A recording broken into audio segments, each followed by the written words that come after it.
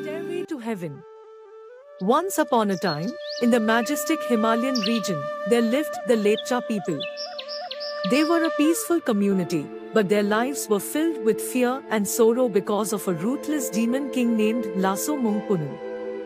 Laso Mungpunu was known as the first child of Fudongthing and Nujongnum, and his cruelty knew no bounds. The Lepcha people lived in constant terror, as Laso Mungpunu would mercilessly kill anyone who crossed his path. Fearing for their lives, many Lepcha families left their homes and fled to the safety of the valleys, where they hid along the river banks. They traveled silently, avoiding the gaze of the demon king, until they finally reached a place called Daramdin in West Sikkim. In the Lepcha language, Daramdin means flooded lake.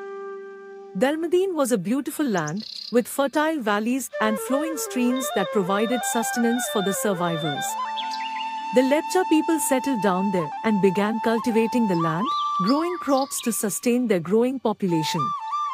As time passed, they gradually forgot the fear that had haunted them for so long, and they lived in peace. One day, however, the Lepcha people's peace was shattered by the looming threat of Laso Mungpunu discovering their settlement. The mere thought of the demon king finding them filled their hearts with terror. They knew they had to do something to protect themselves and seek the help of the gods.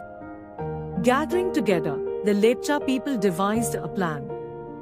They decided to build a ladder to heaven, believing that their gods resided in the celestial realms. This ladder would be their pathway to safety, away from the clutches of Laso Mungpunu. With determination in their hearts, the Lepcha people set out to construct the stairway to heaven. They knew they needed a strong foundation, so they flooded the nearby lake to create a vast expanse of flat land for their construction. Soon, all the potters in the land got busy. Some started shaping the clay into pots and others baked them to perfection. These pots would serve as the building blocks for the ladder to heaven. The skilled potters molded the clay with precision, while others gathered wood for the fires that would bake the pots and make them strong. With each pot ready, the Lepcha people began stacking them one on top of the other, forming a towering column that reached towards the sky. The construction required years of hard work and the combined efforts of every member of their community. Men, women, and even children contributed their labor, shaping the pots and carefully placing them in position. The ladder to heaven gradually rose higher and higher, surpassing the rooftops of their houses, the treetops, and eventually reaching the clouds. The Lepcha people felt a sense of pride and accomplishment as their stairway grew closer to their gods. However, the gods, in their infinite wisdom, saw the potential dangers that lay ahead. They knew that if the Lepcha people continued building the ladder at such a rapid pace, disaster would befall them. The gods decided to intervene and create an illusion to halt the construction. The gods infused the hearts of the Lepcha people with fear, specifically fear of Laso Mungpunu. They whispered haunting thoughts of the demon king's imminent arrival, instilling a sense of urgency and danger among the workers. As the construction neared completion, communication between the artisans at the top and the workers at the bottom began to break down. The man positioned at the highest point of the ladder desperately wanted to know how much further they had to climb. He requested a hooked stick to gauge the distance, calling out, Kok Wim Yang Ta, send up a hooked stick. Unfortunately, due to the pervasive fear and confusion, the message got distorted along the way. The workers at the bottom misheard the request. Believing they were being told to bring it all crashing down. They heard Chekta, smash it down, instead of Kok Wim Yangta.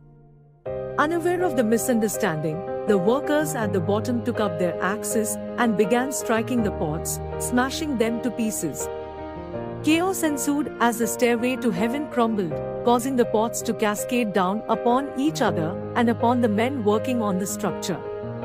The once mighty ladder fell apart, bit by bit, causing great destruction. The dream of meeting the gods in heaven shattered alongside it.